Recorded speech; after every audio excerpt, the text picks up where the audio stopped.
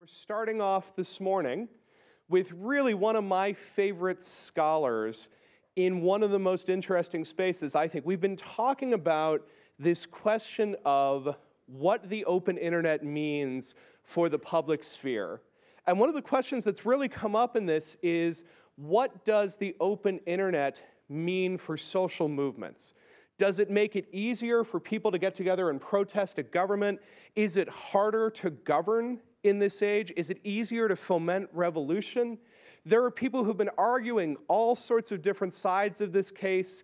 You have people essentially saying that once we have Facebook and the ability to organize groups, governments fall very quickly, people take to the streets. You have other people essentially saying that's madness, that's craziness. What really matters is people's offline ties. Probably, in my opinion, the most insightful and nuanced voice in this space is the voice of our next speaker, Zeynep Tufekci. Zeynep is a sociologist. She teaches at UNC. Uh, she's also visiting at Princeton at the moment. She's been over at Harvard's Berkman Center. For those of you who hang out with us at Center for Civic Media, you've met her a couple of times. She's come in and given a couple of talks. Zeynep started working on these questions of media and social change, looking at the Arab Spring, looking at Tunisia, looking at Egypt, and then this same sort of disruptive social media connected protest came to her native Turkey. And she has now been going back and forth between the US and Turkey, trying to understand all that's been going on. She just flew in from Turkey. Boy, are her arms tired. We are so happy to have her here. Zeynep Tufekci.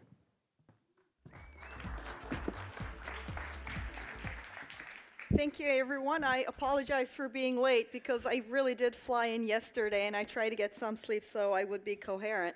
Uh, we shall see. This is a new talk, uh, and I am trying to wrap my mind around some of the effects of the open internet in the case of Turkey, and it's just been a fascinating journey. Now, I'm going to have to take this back a little bit to before the Gezi protests to explain uh, how a citizen journalism network started in Turkey and how it evolved. So the first case I have to tell you to make sense of all of this is uh, a story that starts uh, about a year before Gezi protests when Turkish military jets, under murky conditions, bombed a group of smugglers between the Iraq and Turkey border who were actually doing their it, you know, it's kind of hard to wrap our mind around this, but they're regular smuggling run, which they do routinely. And this is, in fact, um, a village that is uh, paid by the government to be what's called village guards. So they were in good terms with the local military and the local police, and they waved at them and said, hey, we're going on our smuggling run, because that's just the way it's done. Except this time something went wrong, something went awry, and the smugglers were bombed by jets uh, it, it, was a horrible thing. 34 people died, most of them in their teens, uh, most of them from one or two families. It was just horrific. What happened is that the Turkish media knew of this and sat on the story because they were waiting for the government to tell them what to say. The, all the newsrooms knew the story, they all were sitting on it. They were all getting, you know, news and reports from this because Kurds also have their own media. This was not secret. They were all sitting on it. Uh, the media censorship in Turkey is complicated. It's a mix of self-censorship, corporate ownership of media that is aimed at getting government contracts and government pressure. One journalist, Serdar Akınan, who was in the newsroom and just watching this be censored, he just couldn't take it. He was like, I can't take this. I, I just can't sit on this. He purchased a plane ticket with his own money, he told me. Uh, he went to the nearby airport, then he got on a taxi and he just went there and found this enormous scene of, you know, this, this, this is a uh, picture he put on Instagram of the snaking coffins uh, of the people who had been blown up. Um, and he broke the story basically to the Turkish side. The Kurds had been hearing about it. They have their own media. They also have social media. Um, and this was this huge shock because, I mean, here was a so clear act of censorship. And the pictures and the interviews, I think he put this on Instagram. I mean, it's kind of crazy. In other countries, you have, you know, here's my lunch. And in Turkey, here's the, you know, snake in coffins. After he broke this, um, this was just a striking wake up call to lots of people in the Turkish side, especially young people who had not grown up in the 90s, uh, where the Kurdish Turkish war was a lot more bloodier. And this is Serdar on, uh, on the, your top, uh, your left. Uh, this is like his pictures from the area. You can see how distraught he is. And three young men, later joined by others, in their early 20s were just like, they were shocked. They were really shocked that they had been subjected to the censorship. And they said, let's do something. Uh, they told me there might have been a little bit of alcohol involved, right? They were like getting, you know, drinking together and saying, can't we do anything? Can't we do anything? And they decided to form a citizen journalism network. In one evening, they said, let's just do this. They got a Twitter account, 140journos, and somebody sat and designed a goofy bird for them. And there they were you know, just a bunch of young college students. Next, uh, they started going around doing what they thought they could do to do journalism. They started going around and interviewing people from uh, wherever something was happening. You know, this is uh, Cem and this is um, uh, Engin. They're just going to trials of, you know, journalists or they're going to trials of uh, they're going to protest. They just went all around the country trying to get news. At this time, I had already met them, and I was talking with them, and I said, "You guys aren't really doing citizen journalism. You're doing journalistic citizenship. You're just, you know, being journalists and reporting." And they were like, "What can we do? You know, we're just trying to get the news out, and it's not being reported." So they were uh, doing their own thing. Uh, there were a couple more incidents in which they were crucial, ended up being crucial in breaking news, because journalists who were censored started pirating they're news to them. Their own outlets wouldn't publish them, so they would go to 140journos, and you know they sort of started building this network. And then the Gezi protests happened. You might know this story. Uh, the Gezi protests were in response to the government's plan for uh, a park in the middle of one of Turkey's sort of liveliest districts. He, the government decided they were going to put let's see, the replica of an Ottoman era barracks that had once stood there and turned it into a shopping mall shaped like the Ottoman barracks. I mean, it's just, it was the craziest plan. And it was this little bit of park, and it was just going to destroy the fabric of that neighborhood. There were huge protests. And I've written about this in many places. The government, uh, the, I'm sorry, the mass media once again sat on the news. Now, when they sat on the news in the Kurdish areas, it took someone from the Turkish sort of press going there and breaking the story. When you're sitting on a story that's happening in Taksim, that's kind of like sitting on a story that's happening on, uh, you know, Times Square. It's kind of hard to sit on that one like that. What happened was tons of people heard of this on social media. I went there during the protests. I interviewed hundreds of people. I asked again and again, where'd you hear this? Twitter. Where'd you hear this? Twitter. SMS, Twitter, WhatsApp, Twitter, some Facebook, lots of Twitter. Uh, so people just showed up, and this became this huge protest. It became so huge that on your right, you can see CNN International is covering it live. On your uh, left is Turkish CNN showing a documentary on penguins at the same time. So while CNN International is live from Taksim, CNN Turkey was showing a documentary on penguins. Uh, this became like the symbol of how crazy media censorship was. And you know, somebody just put their two screens together and tweeted this out, and penguins became the symbol of the protest. So people started photoshopping penguins into everything, uh, sort of like, come CNN. It was like called CNN baiting. You know, you're trying to just you know put a picture in uh, penguins, so hoping CNN would cover this. It just became this joke, right? You saw penguins were the theme. I, have I've documented this myself, right? This is uh, what's happening at the same time. Uh, people are being gassed in the Istiklal uh, Street, which is right next to where the protests were. This is what's on CNN. I mean, this is just, th this kind of censorship was so blatant.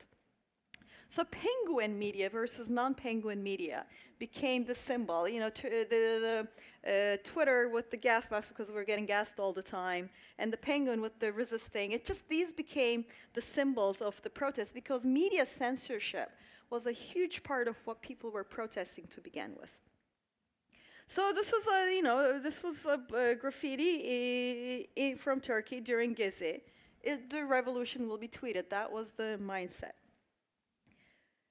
And this also, this is, um, eh, this, there was actually a humor mag, very coincidentally called Penguin, and there's a wonderful uh, uh, sort of humor uh, illustrator, uh, Selçuk Erdem. He drew the sort of kind of Banksy-like, uh, and this became the symbol, and that means resist, which is in Turkish connotes like occupy. So I went to Gezi Park. I went there to talk to people. I went there to interview people. And when I, you know, I just went around with my helmet because the tear gas is just noisy. It doesn't kill you, but if it hits your head, that's dangerous. And given how I make a living, I had to, you know, I went there with my bike helmet. And people were asking, weren't you scared? I was like, yes, the cab ride from the taxi, you know, from the airport to the uh, park with no seat belts and just rushing through, that wasn't fun. But other than that, I think it wasn't too bad. Um, so what I found was the citizen journalism as culture. People were, like, I, I would interview people. And I would say, So what do you do when you hear something and you're not sure what's happening? And he would say, Well, I go to the front lines. People would go, like somebody showed me like a wound they got because they were trying to report from it. There was this enormous sort of, uh, before 140 journalists used to have to go places to report. With Gezi, what we got was this. You know, as soon as something happened, people started taking out their phones, whatever the heck they had, and reporting. Uh, and after Gezi protests, there, this sort of organizing citizen journalism became much easier because the culture changed and people started um, reporting. Like, you know, you see the guy, he pulls out his iPad. This is such a common thing. But, so this is so far reads like a, you know, regular story, mass media censorship, 140journos, they come in, they report. But there's another really interesting twist to this, and this is the part I'm kind of uh, want to add, is that mass media is often a, also a tool of culture war. Media control in Turkey, and I would say not only in Turkey, in a lot of other examples, is not just about censoring the news. It's creating polarized identities. It's creating a sense of Kulturkampf around which you build political bases. This is not untrue in the US, right? You can't talk about, say, sane gun laws because it's become part of this culture war. Uh, global warming has become part of culture war identity. Every and you know, uh, helpfully, that sort of that culture war of you know elites versus the heartland kind of um, cultural identity gets attached to lower taxes, uh, less public services, and that is the sort of vision through which a lot of ruling um, and governance happens. In Turkey, this is very, very strong. The Turkish polarization um, is happening through the media control is not just about censorship and it can't be at the in the age of internet it's much harder to maintain this but what's happening is that they are um, the media control is a way of portraying and demonizing and dividing the two camps through which the current government continues to rule. Now, Gezi Park was a major challenge to this because it was a very multicultural space. It was, I mean, besides the fact that it broke censorship, it was this amazing meeting of a lot of groups that had been uncomfortable about the government but were divided internally. The opposition too was divided by these culture wars. So these are some pictures I took at Gezi. And uh, so on your left, is one of Turkey's most well known transgender activists. And she became kind of a hero uh, in Gezi Park because the park is near the neighborhood where Turkey's LGBT community lives. And she sat in front of an APC and stopped it. And there were pictures of this, so she became famous. On your right is uh, what we call an auntie from the Kurdish heartland. And I just saw them find each other. Uh, the, the Kurdish auntie, as we call them, went to her in her thick Kurdish accent and said, "Why haven't we talked together before? Why didn't we not, you know, have this?" And then. Um, uh, the transgender activist and she was like yes why haven't we? And they hugged and they cried and then I said can i take a picture? They were like sure. So i mean this is this is not the kind of cultural groups that would normally come together in turkey. This is another picture i took uh, sort of an elderly woman with the headscarf very traditional clothes came by and just started, I was just talking to these bunch of kids. She just started crying. She said, I can't stand the way they're gassing you. She, she was just crying because these were kids being gassed. And one of the uh, young women I was sitting with, I'm not, you know, you can't see her face. Uh, she has tattoos, piercings, she's wearing shorts. I mean, again, cultural wars. Uh, and they just consoled her. Another example on your front is um, revolutionary Muslims praying. On the back is the sort of a small socialist party protecting them. This was sort of, Gezi was very anti-cultural camp. And that was a big threat. So what happened was, government's response was an all-out culture war on mass media. I'm going to explain how this ties back to citizen journalism. This was really a weird case in which the government claimed that the Gezi protesters had beaten up a woman wearing a hot headscarf and her baby. She, they claimed that 150, uh, she claimed that 150 bare-chested, leather pant-wearing men had cornered her in the middle of one of the most crowded places and had beaten her up and urinated on her. This was just an incredible claim. Now, this was really, like, the government's really smart because for years, feminists in Turkey have been arguing for believe the women, believe the women, believe the women. And, you know, she went out on TV and said this, and the government said, do you not believe the woman? There are no pictures. There are no sort of other things besides her testimony, so everybody was kind of taken back because it had supposedly happened in one of the most crowded places. I was like, not one picture, nobody. I, and the idea was mind blowing. And then this became this huge thing on, this is like Turkish media. Can you accept this insanity, this kind of um, awfulness? And you see these cartoons, like the Gezi protesters portrayed as, you know, people who beat up headscarf women with their, um, you know, with their babies. Now, the claim, there's a lot of sort of government has a lot of um, uh, closed circuit TVs all around, and finally something leaked. So we now know this is her in 737. This is her three minutes later. She gets in the cab. Nothing happened. Nothing happened. So this was a blatant lie. But it took one year for that frame to um, leak out. And for a whole year, at every rally, the Turkish prime minister went and said they beat up women and babies because they're wearing the headscarf. There were other similar untested claims like that. Most of them uh, were contested because of citizen journalism. I'm saying this because this is a major part of the censorship is not censorship per se, right? It's a way of creating a, cultural war. So seeing all of this, the Turkish 140journos group started evolving towards verification, counterpolarization, and community building. And this is what they've been doing for the past year. Because since everybody now takes out their phone, it's become easier to break censorship in Turkey. But culture wars and media control as a means of culture wars has not.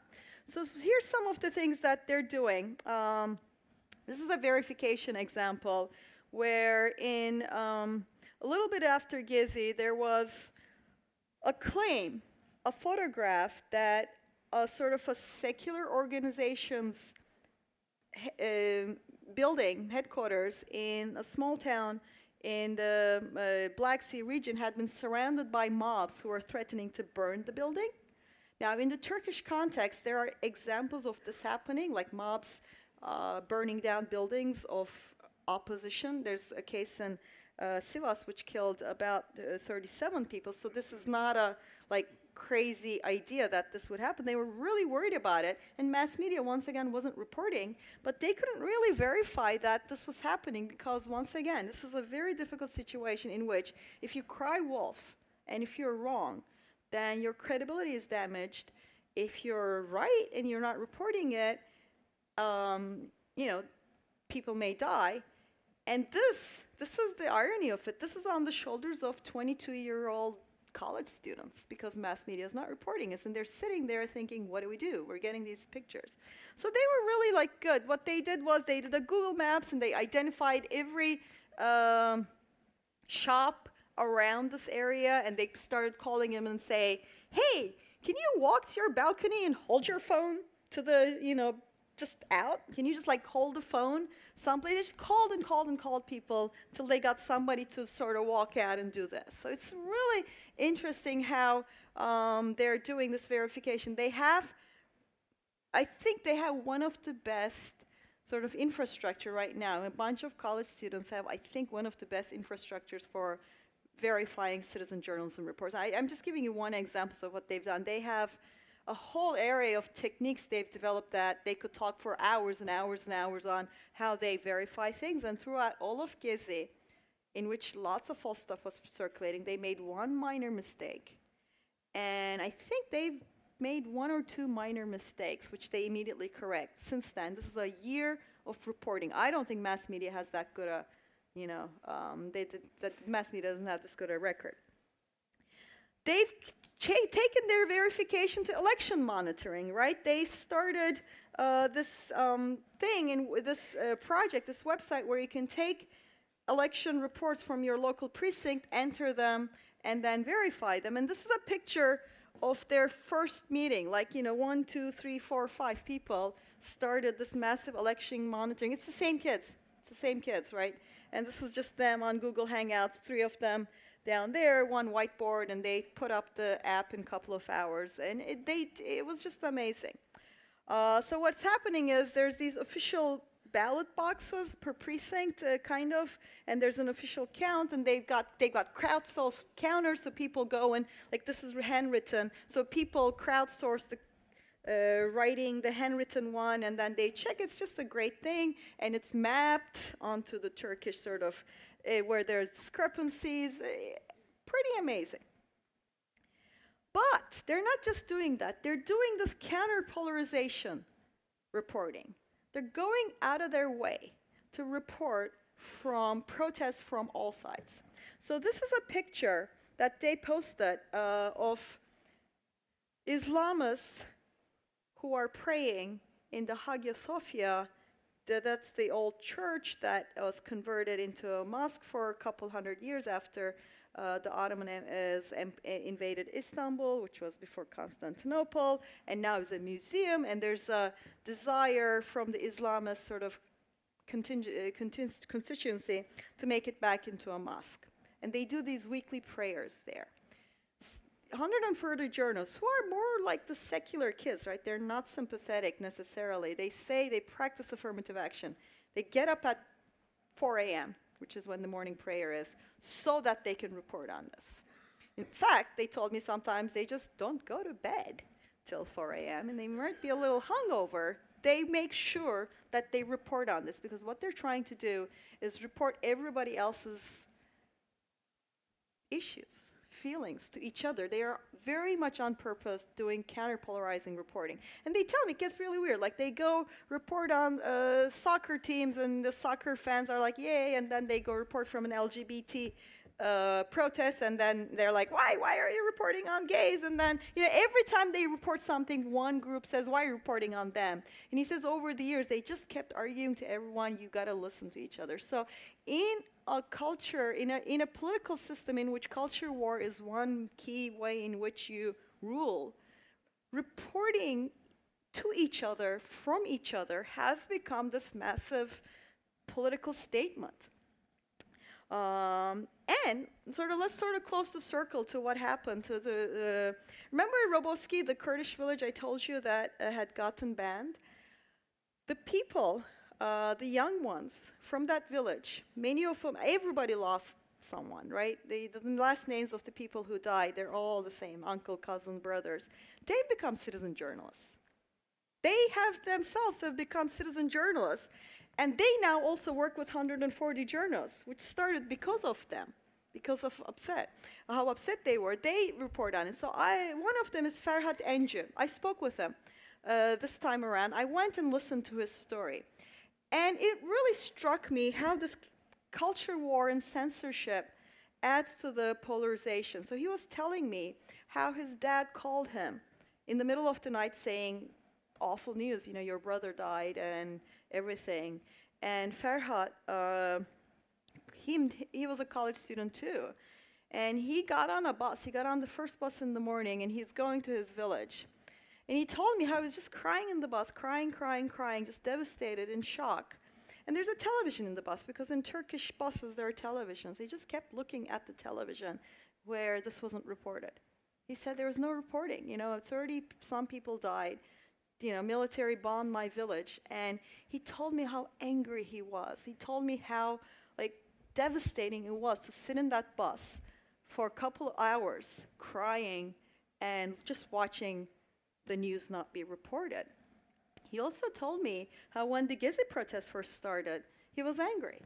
Now that had never occurred to me. That, to my shame, it had never occurred to me that you know someone uh, from a Kurdish background would be angry because I thought they'd be happy that you know the western side of the country was also there was something going on. And he said, well, you know what? I was so angry because they wouldn't you know they wouldn't listen to us or protest about us, and they were protesting about trees thought, yeah, I mean, I can see why you'd be angry. I can really see that. He told me he sort of got over that anger when he started seeing people getting tear gassed and beaten up because he's a Kurd, right? If people are being beaten up, he's just going to empathize with it because that's sort of this natural sympathy. And they're, they're just, you know, very um, good about this. And then he started saying, wait, I should empathize with these people. Now, in Gezi Park, I talked to tons of people. I've had young person after young person tell me, wait a minute, if we're the terrorists and the Kurds were terrorists, wait a minute, you could see, you know, I've had kids tell me that next time there's something in the Kurdish region, they're not going to turn on the television, they're going to check social media, they're going to check 140journos, and now they can also check Kurdish citizen journalists themselves. So this counter-polarization through citizen journalism reporting has been so interesting. And Ferhat um, now goes all around, sometimes reporting, you know, from non-Kurdish areas. He's just got this, um, and these are totally self-funded, scrappy things, right? He had this phone that was barely working, and it wasn't like he doesn't have the latest phone, he doesn't have latest equipment, he doesn't have anything. Uh, he just has himself. And of course, doing this, he's come under a lot of pressure. He was once detained, but when he was detained, his name trended in Turkey on Twitter because people, because he's also on social media, people were so upset that someone who had lost so much would still see government pressure. So the, there was this sort of merger between not, it, it's not, it wasn't just the Kurds who were outraged, a lot of Turks were outraged and he was freed. And he told me that his followers are his biggest protection. And I, and I said, are you afraid? He said, no, I have, what's the number now? He said, I have, you know, 20 some thousand followers and some of them are, you know, big important people in Turkey, so I feel more protected. And he said, if I ever stop being a citizen journalism, they'd probably disappear me. That was his words. So citizen journalism for him is very um, important. And it's really, these are incredible stories. They've also become constant check on mass media. There was an incident in which a young woman jumped from the Bosphorus Bridge to her death, unfortunately. And she, before jumping, she had uh, taken off her clothes, so she had jumped nude. Turkish press, of course, covered it so sensationally. They uh, published the pictures of her jumping. It was just awful. Her family did not go object about this to the Turkish traditional mass media. They went to 140journos and they just put this. They said, Can you publicize this? So the citizen media has become this constant check on mass media's not just non-reporting and awfulness. I mean, these are just some examples I see, like people tweet to 140journos so things will get reported. And mass media is always following this. I talk to a lot of reporters, they know that their censorship is going to be visible. Now, sort of also to wrap up on uh, what else had happened, Serdar, who had first broken the Roboski story to the Turkish side, started uh, something called Vagus TV, which was going to be like this alternative internet-based traditional media. So it wasn't going to be citizen media, it was going to be traditional media. They got some funding. I talked to the people who did the funding. It didn't work. It's really interesting that the person with, the, I mean, he's a great reporter. He's an amazing reporter with um, great journalistic instincts. They found the money. But the non, the, their model did not work, so he became a beekeeper. Right? He gave up. Uh, after a year of effort, now he became a beekeeper and he's raising goats and making cheese. It's a huge loss to Turkey. I mean, that we can't keep our traditional journalists who want to do good reporting in spite of funding he couldn't. And I talked to the people who funded him, and they were like, well, it, was, it just wasn't sustainable. You can't make money um, and the government shuts down your site. Whereas 140journos, because they're Twitter based, they're a lot more protected. Now, next steps, what they're doing now, I mean, this is really interesting. They're trying to do creating communities through reporting. So they're trying to develop a Twitter-based app, Twitter-based so that they are not subject to government censorship, where if you're reporting on something that's not like a national news, you have, say, animal rights. They want to bring together the people who are reporting on animal rights issues and help them create their communities. And they're trying to develop these um, apps of ga gamification. They have all these, I mean, I, I talk to these kids, and it's like talking to a bunch of little Steve Jobs in the civic space. They are so creative and so interesting in their ideas, and they've tried so many things. But of course, there's a problem. And this is them. This is just us talking the last time around. There's no funding. This is all done, and I have just given you maybe a little slice of all that they've done in the past couple of years. They, there's a lot of other stuff they're doing. They are doing this as college students who are going to college, who also are doing odd jobs here and there to completely self-finance 140journos. Zero funding, negative funding. I mean, they have to go to school and take exams. One of them flunked media, new media theory. he just, you know, missed the exam because he was giving, you know, he was doing all this. This is insane, right? This is the kind of 22-year-old. He, he flunked it because he was at, um, even talks at Harvard and Princeton, by the way, that he was out of town on what they were doing. So the professor was like, no, I can't let you do a makeup and flunk them. Uh, and he says he barely passed when he retook it. New media theory. Uh, but there's just done through this complete scrappy energy, adrenaline, and they're really smart about things. You know, you talk to them, you know, they're, they're, they talk, they, they develop their own language. We keep trying to find words for what they're doing. They're like, we're not really doing citizen journalism. We're going to be doing community building through reporting. I, there's no word for this concept yet. They're going to try, I mean, it's this counterpolarization, community building, uh, people finding each other, their own rules of objectivity. Uh, that doesn't really map completely. I mean, they're very, very strong on factual and verification, but they don't mind people having sort of points of view. It's this new, it's a new model of journalism or reporting or community building, whatever you want to call it. And just as this is like, and after I was talking to them there, um, Cem was like, "Oh, I haven't slept in you know one day," and he just like crashed on that yellow sort of pillowy there and just passed out. This is a total volunteer effort. It's not sustainable like this. I mean, there's only so many years you can get out of young people because one little hiccup, an illness, a problem, and you will get um, into things. So, and this is why, like, some of the examples that we have is that we have Center for Civic Media, all these things that are being tried. I love it. The Personal Democracy Forum is starting, trying to start like a civic startup uh, in New York, which I think is a great idea.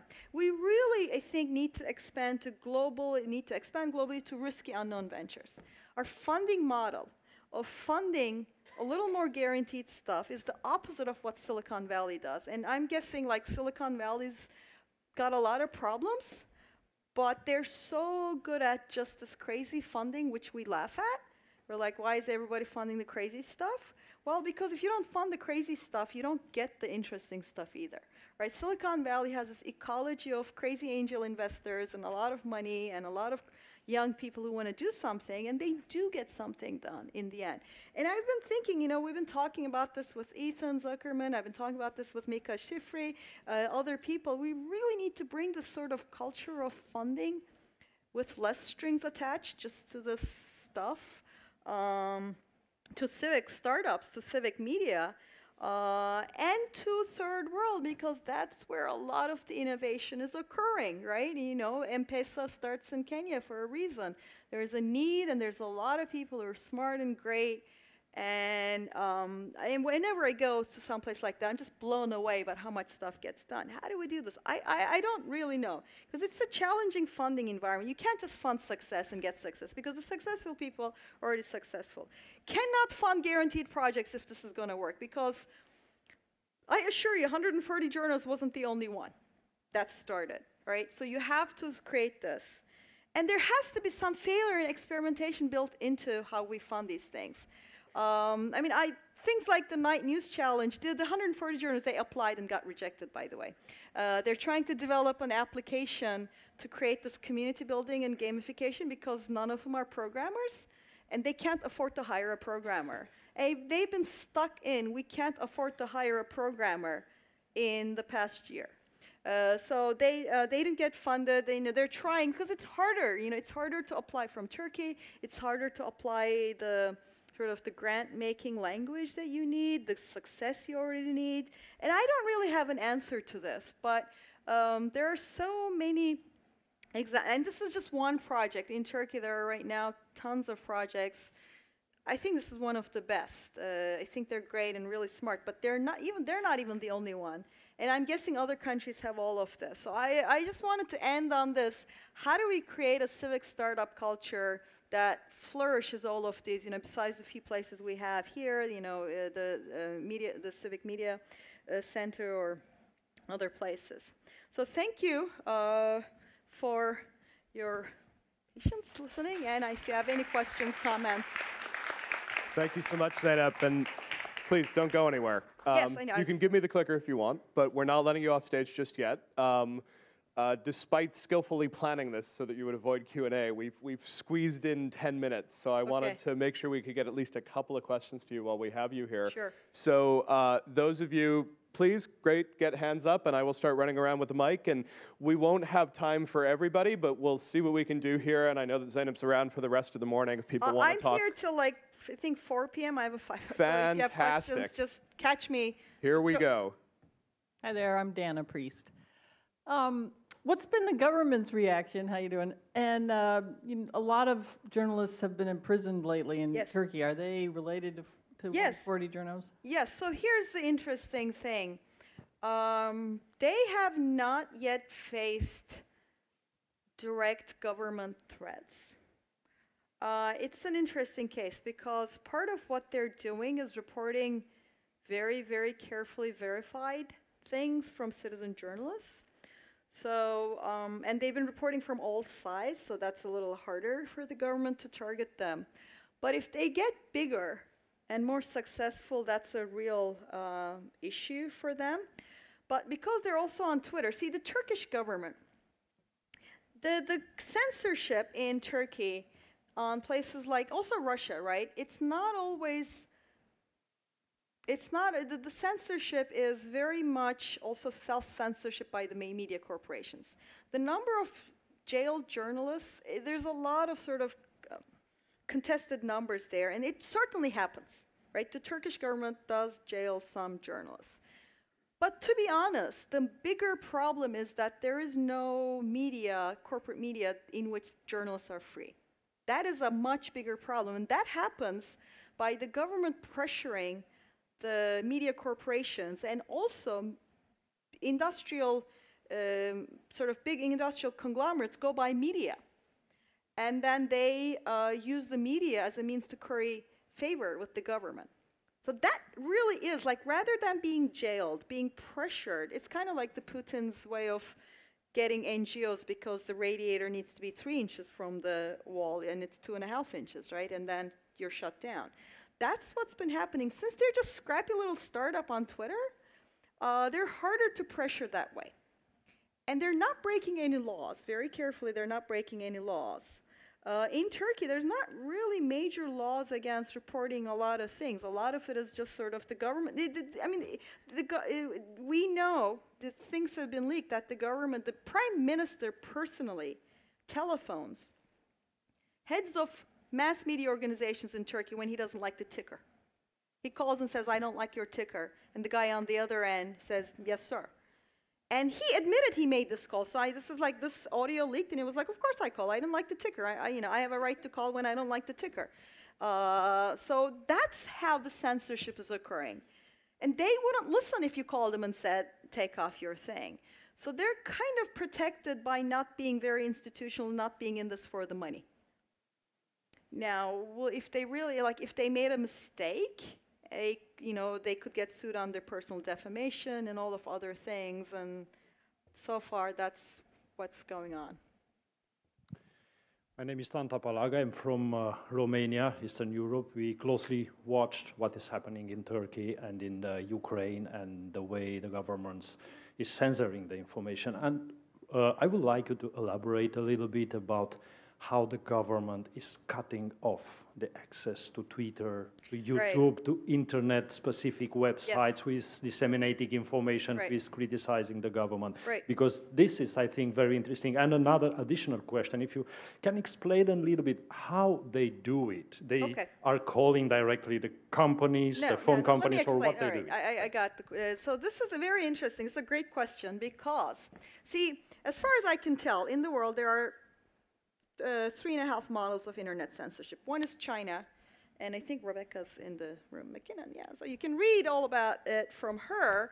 Uh, it's an amazing infrastructure, right? You have your tech scene, you have your direct access to, the government has direct access to Weibo, and you had to have been China to do that. You needed to have started 20 years ago with that kind of foresight. So Turkey is not doing it like China. One, the uh, health model is uh, North Korea, right? Just have no internet. Except no, who the heck wants to be North Korea? Nobody on the planet besides North Korea wants to be North Korea. So Turkey doesn't want to be North Korea. Turkey has one of the most amazing, useful e-government infrastructures in the world. It's better than the US, hands down.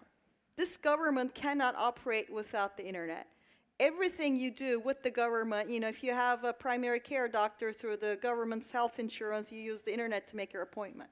That is partly why the government's popular. They have used the internet to create this amazing infrastructure that makes life much more convenient.